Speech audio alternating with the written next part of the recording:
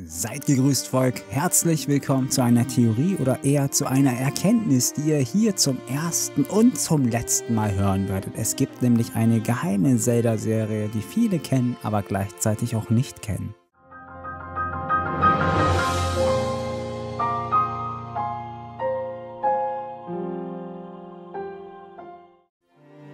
Viele von euch denken nun, dass ich von der berühmt-berüchtigten Zelda-Serie rede mit Aber nein, die meine ich nicht, denn die ist doch bekannt. Ich rede auch nicht von den legendären CDI-Games, dessen Existenz am besten gar nicht anerkannt werden sollte. Ich spreche von einem Helden, der unfassbare Abenteuer erlebt, aber bevor ich dazu komme, müssen wir noch mal kurz die Grundlagen von Zelda checken.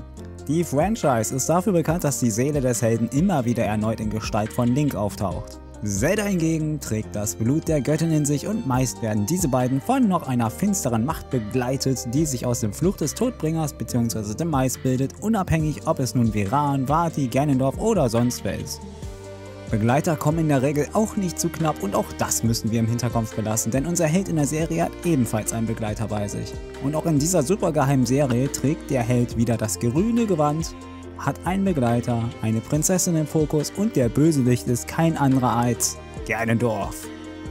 Okay Leute, jetzt macht euch gefasst, ich enthülle euch die geheime Serie mit dem Helden, seinem Begleiter Ganondorf Zelda und vielen anderen Randfiguren. Die Serie erschien am 11. August 1991, lief auf einem der bekanntesten deutschen Kinderchannel und läuft unter einem Decknamen, um die Zelda-Serie nur für Hardcore-Fans sichtbar zu machen.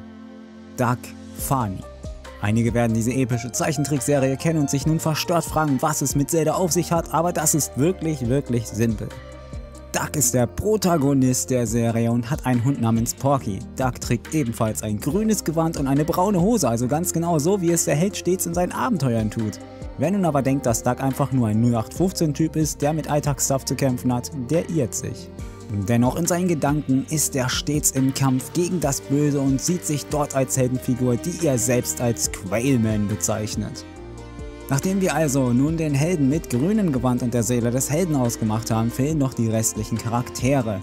Tingle könnte eine Form von Skeeter dabei sein, der Duck stets unterstützt und eine ähnliche Farbe teilt. Aber viel wichtiger ist Prinzessin Zelda. Zelda, die das Blut der Göttin in sich trägt, ist in dieser Realität eine sogenannte Patty Mayonnaise.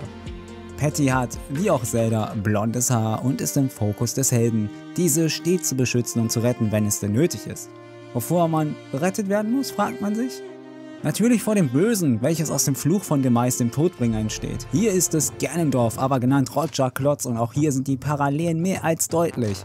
Beide haben eine grünliche Haut, orangene Haare und stellen den Antagonisten dar. So wie es von Ganondorf steht, das Ziel ist, Zelda gefangen zu nehmen und das Triforce zu extrahieren, so ist auch Roger darauf aus, Patty für sich zu beanspruchen.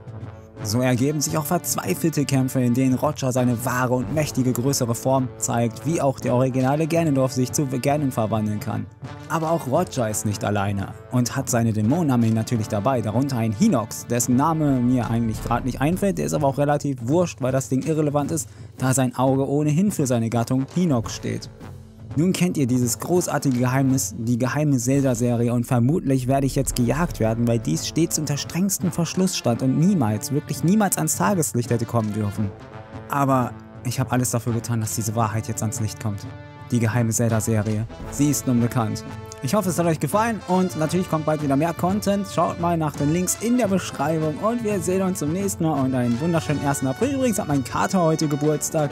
Stöpsel und das ist kein Aprilscherz.